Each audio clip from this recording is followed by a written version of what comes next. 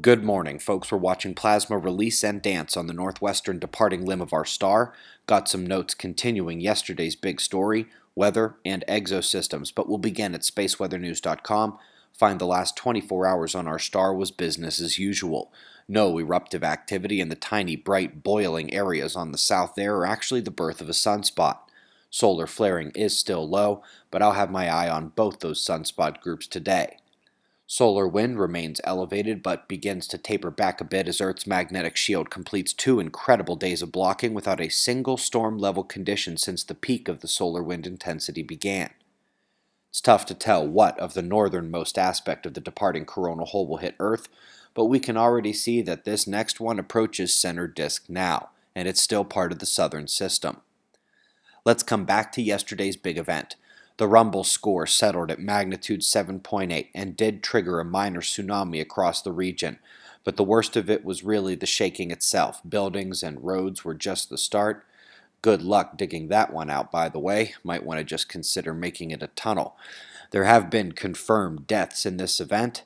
Now, you'll remember that the day before, November 12th, this was our earthquake alert map. Well, in addition to the Southwest Pacific, you see tiny slices of South America on alert as well to the right, and although it would later be downgraded to a 5.7, which is still the next largest rumble in any location in the last 24 hours other than New Zealand, it did originally come in at 6.2. Folks, as we've discussed recently, the lithosphere and atmosphere do an excellent job of coupling, and severe weather is beginning to batter the region just struck by that earthquake. This is after it's having done so in Australia, and the bad weather is due to the low pressure Earth spot nearby. Its presence, severe character in the days before, and a couple blot echoes is why we put this region on alert in the first place, so expect the system to remain powerful until its exit.